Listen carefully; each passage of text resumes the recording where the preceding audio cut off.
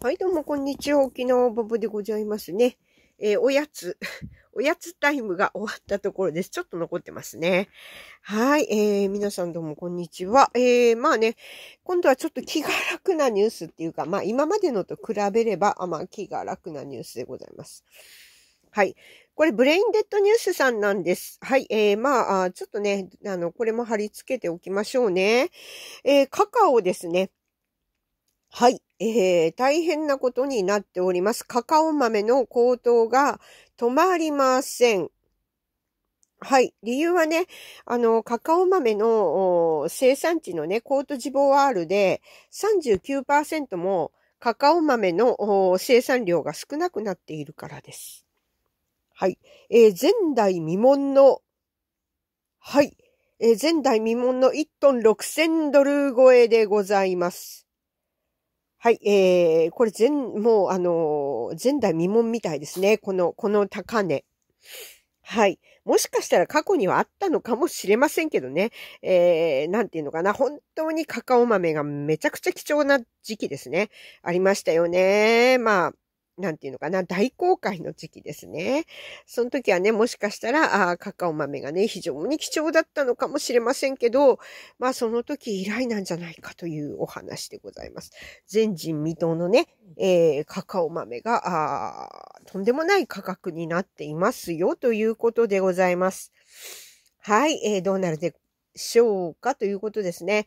えー、皆さん、あの、昨日チョコレートの日でで、チョコレートの日って言ったらおかしいですけど、バレンタインデーでしたね。美味しいチョコレートはいただけましたでしょうかああこれからね、どんどんこのチョコ系統ですね。チョコ系統。これが値上がりしていきますよ、きっと。ねえ、は、そっち行くんですか。では、ミケさんの方に行きましょうね。えー、ど、どん値上がりしていきますよ、多分。はい、チョコ系統ですね。チョコ系のものですね。はい。えー、カカオ、ココアなんかもね、えー、飲む方、はい、えー、備蓄ね、されてる方いらっしゃると思うんですけどね、ココアなんかね。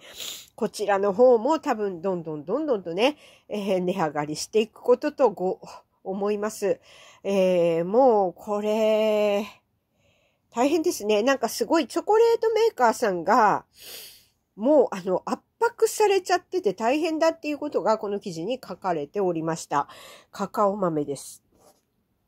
えー、先物取引にね、カカオ豆なんか選んでる方はね、今上がって上がってしょうがないんで、笑いが止まらないんでしょうけど、ああ、これ大変ですね。えー、チョコレート好きな方、チョコアイス、えー、そしてココア、そしてね、えー、カカオからあカカオバターというのが取れるんですね。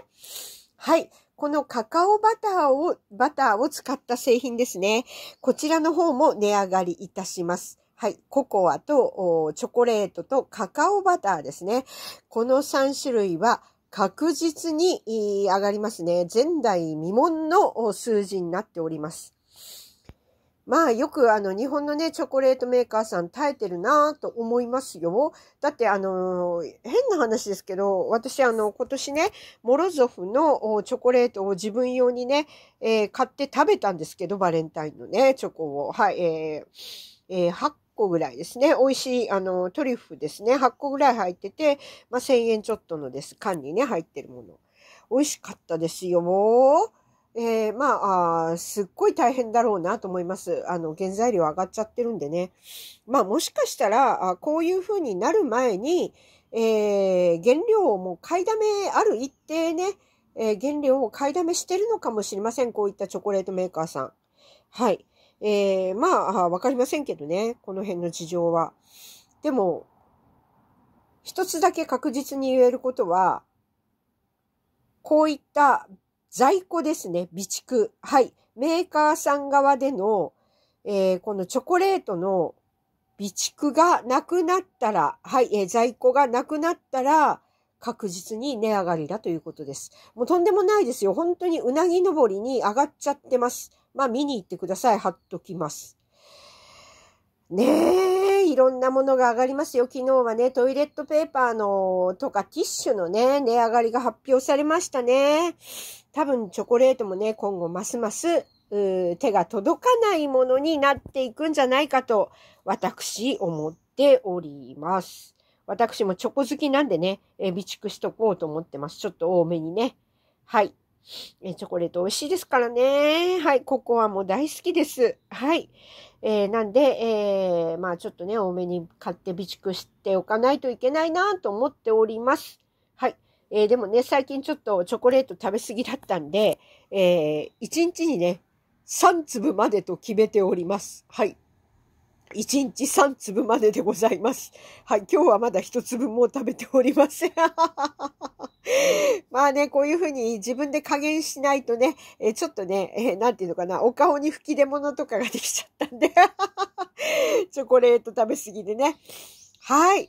えー、まあね、えー、本当あの、チョコレートね、あの、体にいいココアポリフェノールとかもね、取れるんでね、えー、これ自分でも作れるんですよ、実はね、えー、ココアと、おまあね、えー、なんていうのかな、いろんな材料を足してね、トリュフとかできるんですよね、自分でも。はい。まあ、ここら辺のね、レシピはいろいろとね、えー、ネットにも載ってるんで、えー、見てみてください。はい。美味しいものができますよ。はい。えー、まあね、なんというか、あますます我々のね、えー、嗜好品というかね、好きで食べているものも、どんどんどんどんと食べれなくなってきていますよということです。まだね、えー、日本のメーカーさん、チョコレートに、まあでも上がってはいますね。えー、前に昔ね、えー、200税込み50円ぐらいで買えていたものが、今税込み300円ぐらい出さないと買えなくなってきましたからね。はい。まあそういうことなんで、えー、まあ、まあ本当頑張りましょう。この分野でもね。はい。えー、チョコレート好きな方は今のうちに備蓄お願いいたします。えー、前代未聞のうなぎ登りの高騰、カカオ豆でございました。それではまたごきげんよう沖縄ばばでした。どうですか？見てた見てたねえ。かわいいですよね。はい